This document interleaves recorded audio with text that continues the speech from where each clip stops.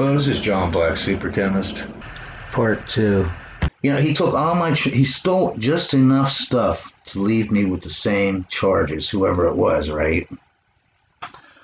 So I still have the gun charge, which at that time was my second gun charge, so it was a felony. I still got the, uh,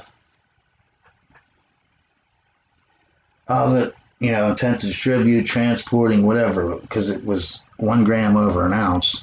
I still got all, you know, who does that? Who fucking steals all your shit and then doesn't let you go? You know what I mean? I could see that. I could see, uh, you know, but whatever. Some people are cops, some of the biggest dicks on the planet.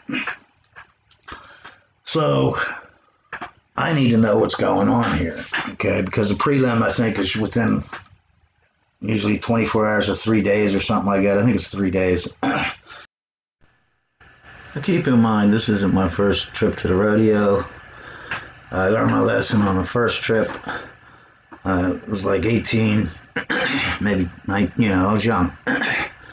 and uh, I got arrested for two felonies. I did some federal stuff. but anyways, I got a, uh, you know, free attorney, and uh, he got me, he reduced one of the felonies down to a misdemeanor. So I only, instead of two felonies, I had a felony and a misdemeanor. And I did, I think, a year of uh, probation. So for a free attorney, that was great for the average person or whatever. but, uh, you know, the more older I got, the more I learned about the law, you know, and looking back at that, uh, you know, they had me in an orange jumpsuit, uh, in cuffs, in the office area. The witness, they walked right by me while I was sitting there in cuffs and in an orange jumpsuit. They walked them right past me to the area where there was a lineup, and they put me in the lineup.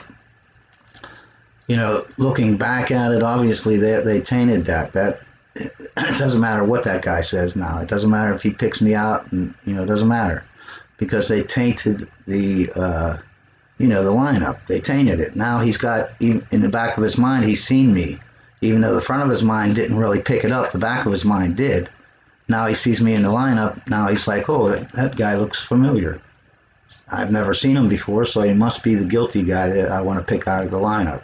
So that taints it. I could have gotten that thrown out if I would have, you know, not been young and dumb.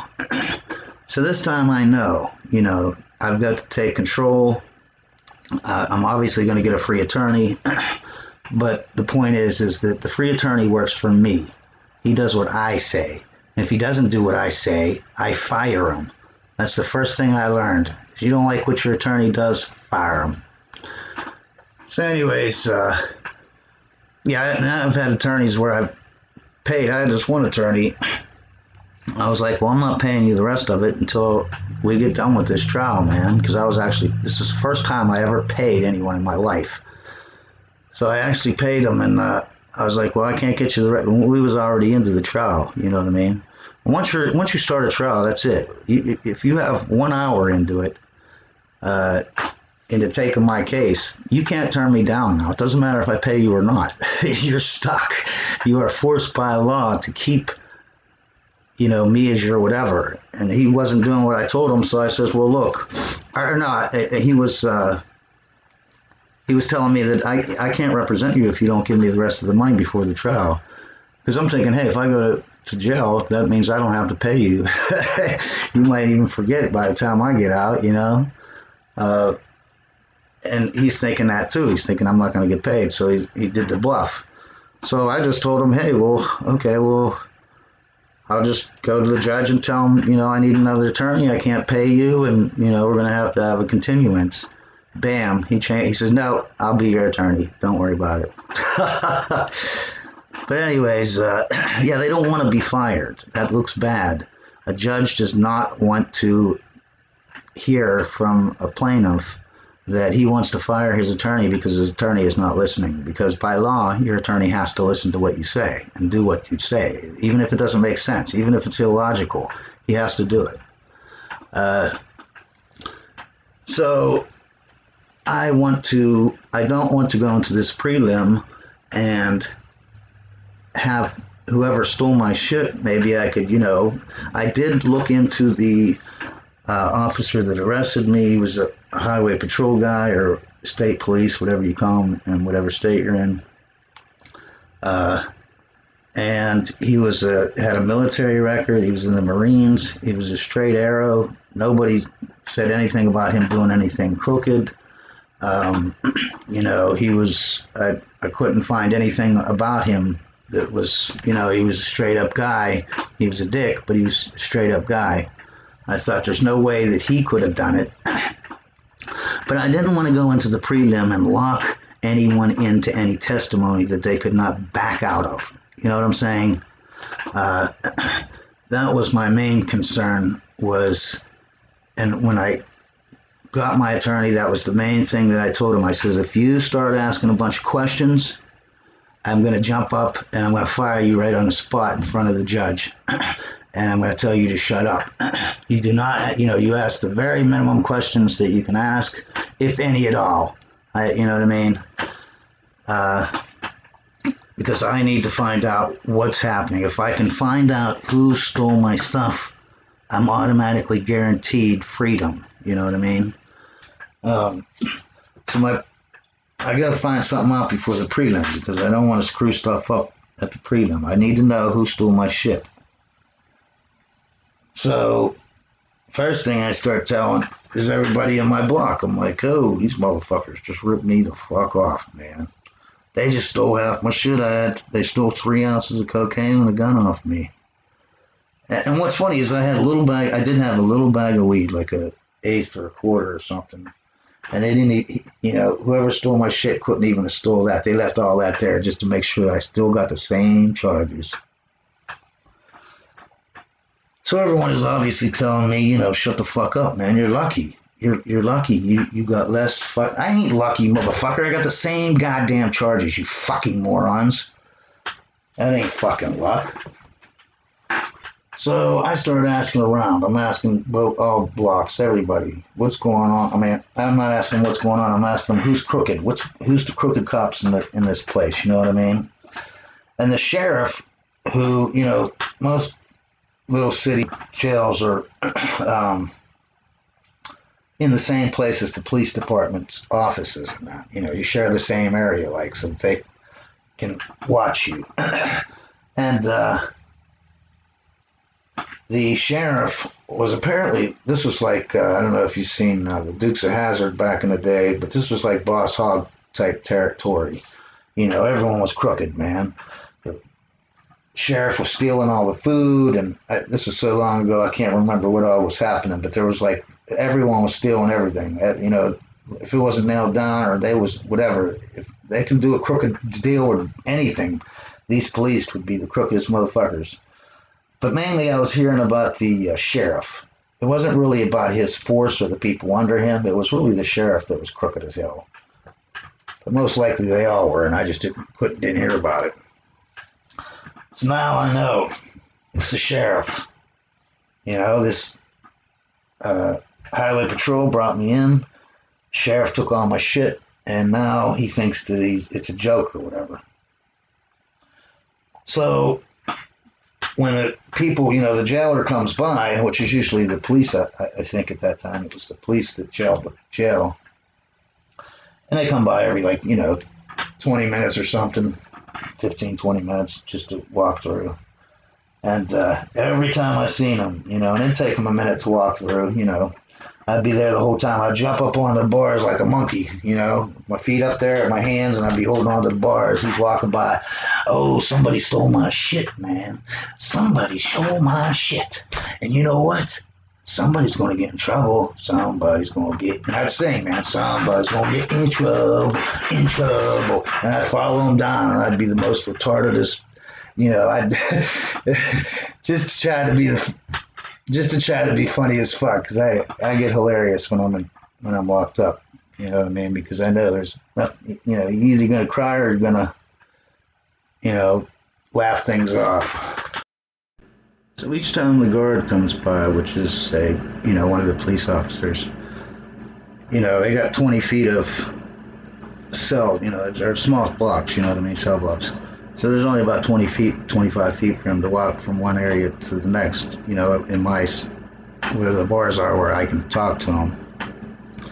But I'm climbing on the bars like a monkey. I'm, you know, not just singing to them and chanting and, you know, I'm climbing up on the bars up to the ceiling like a monkey doing this, you know. I'm doing, I'm climbing on it, turning myself upside down. I'm following them down on the thing, you know. the reason why I'm trying to be so comical, or you know what I mean, so crazy, is two reasons. One, it's it's funny as heck, and you have nothing to do, especially in these little. I usually always get stuck in a little tiny, tiny, tiny dink town. This town had like 3,000, uh, 4,000 people or something. You know what I mean? Put it this way: when I was getting ready to leave, I'm telling them, you know, uh, I'm gonna get a, a, get a cab to get out of here. You know what I mean? Everyone started laughing at me, like, you know what I mean, because they didn't have any cabs or whatever. So I'm like, well, because they're like, how are you gonna get to the to the? How are you gonna get out of here if you get out? If you, if you they, you know, no one believes me, but they're like, how are you gonna get out if you did? You can't. You're gonna have to walk. And uh, I said, well, think I cabs I'll get, I'll get a bus, man. And they all started laughing again, man. Like, what town doesn't have a bus? How do you not have a bus? But anyways, uh, you know, everything I'm mentioning, they're like, man, we don't have none of that. I says, well, I'll walk, man. I don't get, if I get out of here, I'll walk. So anyways, uh, you know, I, I think I know who it is, you know what I mean? And so each time that card comes, because the reason why I'm being so comical is because I want the word to be spread on what I'm saying. I want everyone to hear it. And if I just say it as I walk by, they're just going to ignore me. But if I act like a monkey and turn myself upside down while I'm midair on these bars and follow them down the whole time while I'm on the bars and jump off and do a little jig and dance and you know what I mean while I'm singing to them. You're gonna get in trouble. You're gonna get in trouble.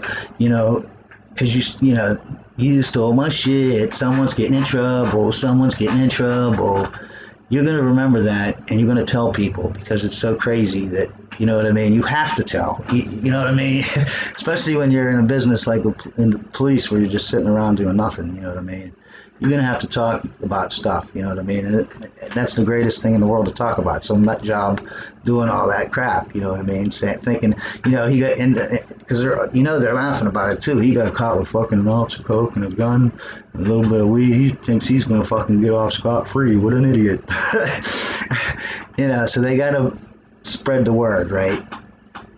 And uh, so you know what happens? They stop my mail.